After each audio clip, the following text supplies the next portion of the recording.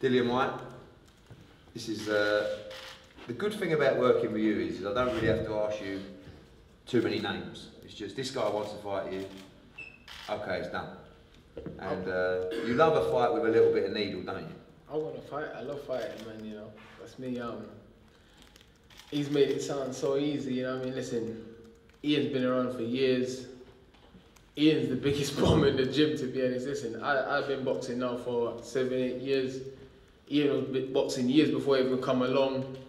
As you can see, he haven't taken his career. Ian was the guy that could have been someone, should have been someone. Remember when I first came up the street, everyone used to talk about him. And then I sparred him. I sparred him um, when I was in kickboxing. I think I was a kid then.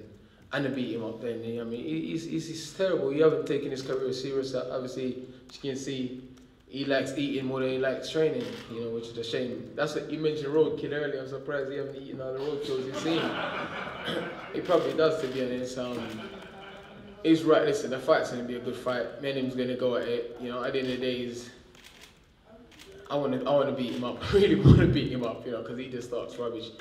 You know, I've always known in my heart that one day I'll have to out of a fight. I've always known it. When we used to train back in the day, I used to look at him I think one of these days, you fat prick, I'm gonna smash your head in. I used to think in my mind, I used to think, I'm gonna bash this guy head in. And, and that day, that day has come.